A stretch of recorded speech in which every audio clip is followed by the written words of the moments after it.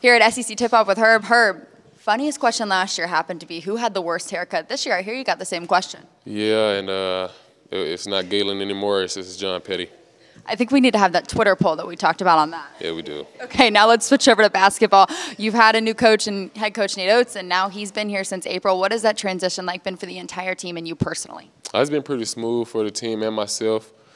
Uh, we came in with a you know a clear mind, clean slate. We're just trying to prove ourselves to the coach to show him what we can do. And I think the the biggest adjustment was the pace of play. Now you see a lot of media, and this is your second time at SEC Media Days, SEC Tip Off. Did you give Coach any tips on how to handle all this media? I think Aaron did that that one for for me. You know, uh, coming up here last year was it was kind of crazy for me to come my first year. So coming my second year, it was much easier. Now, a lot of questions have been asked again about the pace of play. Coach says he wants max effort, player development, and then he wants to be play faster this year. He was number one at Buffalo in the country when it comes to transition points per game. What has that transition been like, not only on the court, because you haven't been there yet, mm-hmm. but in practice?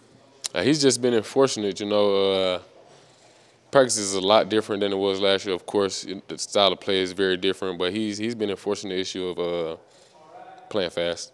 And a lot of new faces this year. What has that camaraderie and team building been like? It's been pretty easy, to be honest. Uh, I mean, it feels like I've known these guys for for years. How close we we've gotten since they've gotten here, so it's been it's been pretty good. Thanks so much, Herb. No problem.